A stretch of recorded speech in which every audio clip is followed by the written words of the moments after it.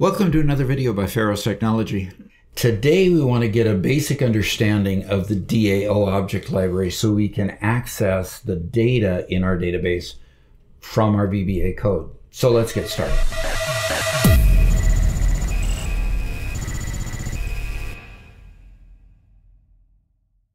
This is a, a, kind of a diagram that'll get us started with the idea of the object model. To get started here, what we want to see is the fact that when you start access, it starts the database engine. Okay, that's just the underlying software that runs everything.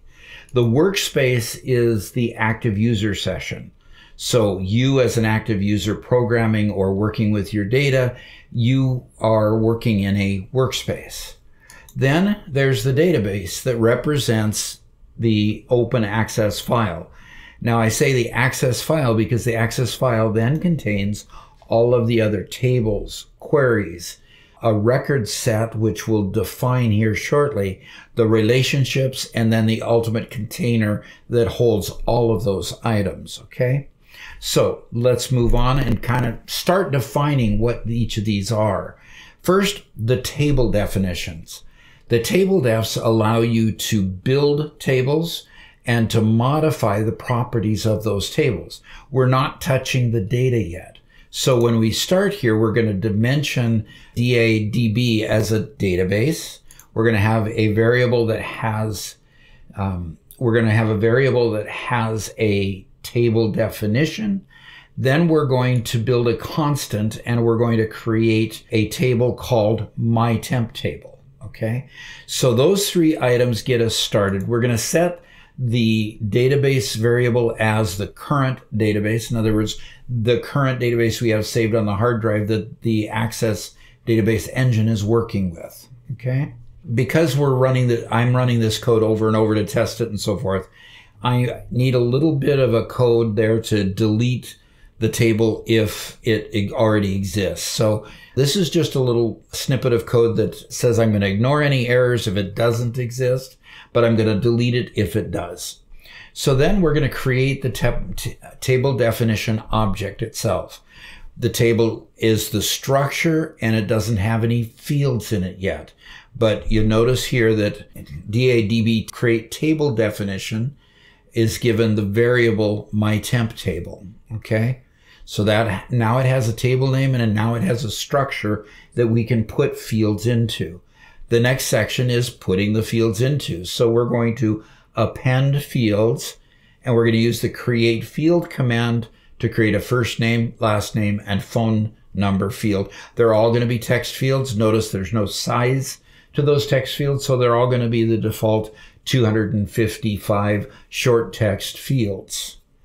Then we're going to append the table that we've just created to DATDF. We're going to append it then to the database. The next thing that I want to show you is how to then display all of your current table definitions in the database. Now I say all of the table definitions because simply there's going to be more tables than just the ones you create. And I'll show you here in a sec. You're, you should be familiar with the fact that we can debug.print out to our immediate window.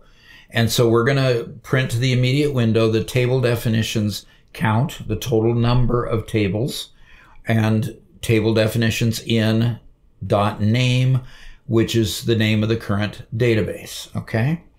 So then we're for each table definition in table defs, we're going to print the name of each table. Okay.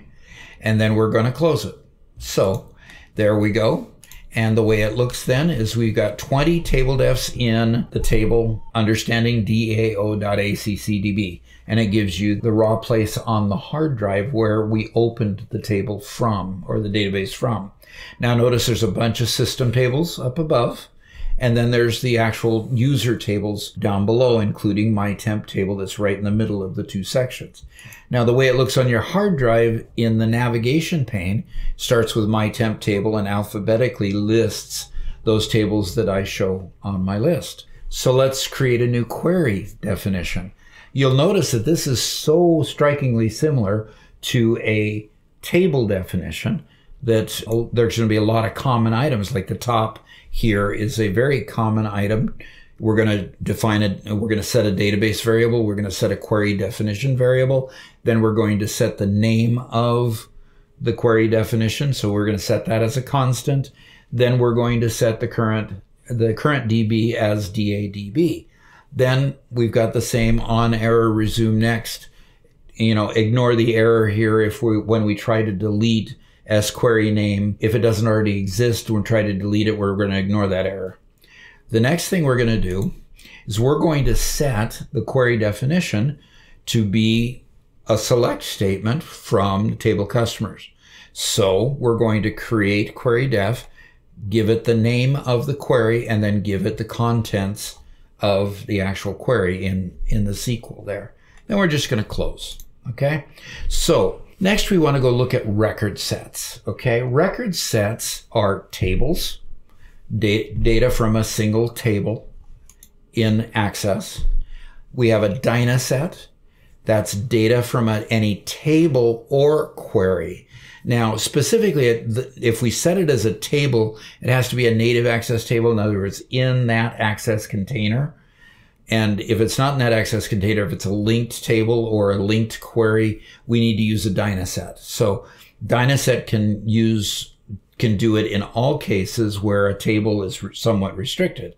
So obviously then you're going to use Dynaset a whole lot more than you'll use table, especially if you deal with linked queries from Oracle or SQL Server or other databases and have tables or queries that are coming from there. You would use a Dynaset there if you want to edit them.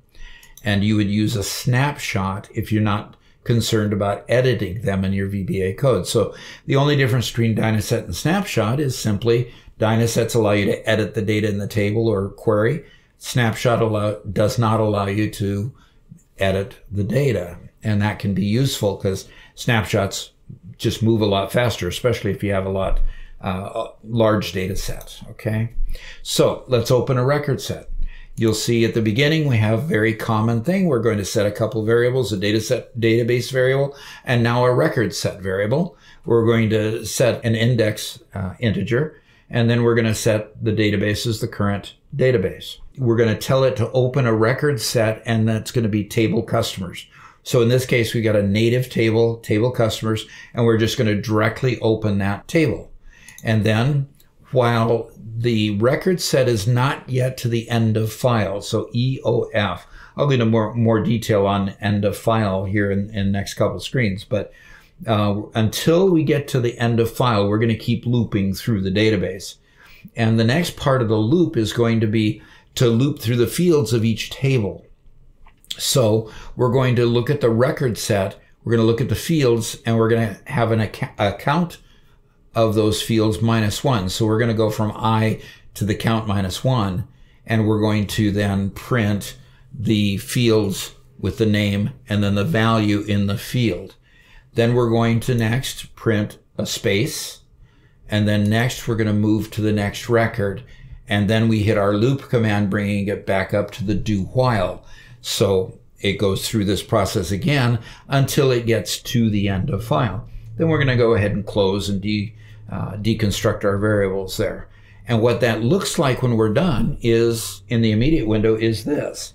You see, it's outputting all the field names and the contents of the fields for each record.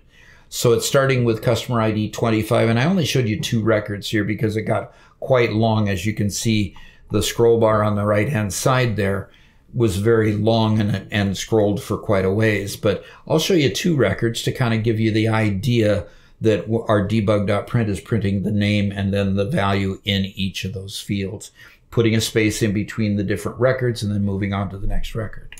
So how do we navigate through a record set? There's a lot of different commands that you can use to navigate through a record set. We've talked about move next so far, but there's several others. So we're, we're going to go ahead and open a record set to table customers again. So the top part of this is pretty much all the same.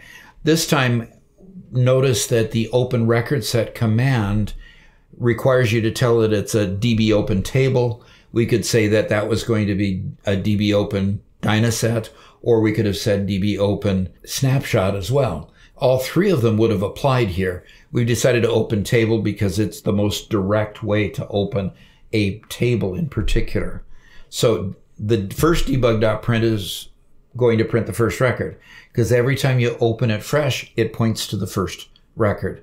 Then we're going to move to the next record and then we'll print it again. Then we're going to say, let's move to the last record. We're, so we're going to use move last. The next one, move previous. So along with a move last, there's a move, move next, there's a move previous. Well, along with a move last, there's a move first uh, command as well. So the way this ends up looking in the immediate window is it went to that first record. It went to the second record, then it went to the last record, then it went to the previous record and back to the first record. So that's the way we navigate when we're in a record set. Now, those are the three main items that you're going to use along with end of file and beginning of file. Now, they become useful especially when you're doing loops. So you'll notice here, we're going to have a query here. So we're going to set up a record set that is pointed to a query. And so in this command, we're going to open a record set. We're going to give it the SQL and we're going to tell it it's going to be a Dynaset. Okay. So we're just doing, worried about a read only set here. Then we're going to start at the beginning of file and if the end of file and beginning of file are the same, we're just going to output a message that says no records to process. Because when, when there's no records in a table, the EOF and BOF, end of file, beginning of file, are both the same record, essentially both pointing to no record. Okay. Then if it makes it through the error trap there to say we've got no records, then we're going to start at the do until the end of file Okay, start at the beginning, do until the end of file. And we're going to print the company name. We're going to move next and continue looping. Okay. Now, after we've done looping through that table, we're going to then go and set the record to the last record. We're going to do another do loop starting at the end of the file and go to the beginning of file. So do until the beginning of file. We're going to use a move previous command as we loop through. So we'll go from the bottom up. So we used the move last and then we used beginning of file. Now when it go, we look at the immediate window, we see grandma's closet. We see rocking and rolling and going on through. We see your favorite things in there twice. Now that's because when we got, went from beginning of file to the end of file, we hit your favorite things. Then when we said move last to make sure it was on that last record, then we started moving previous and going up the list until we got back to grandma's closet. So you can see there we have one way direction through and then the other direction through. And that's how we navigate uh, those records. So if you find value in the things that we're taught in this video, please hit that like button and uh, hope to see you in the next video. Thanks.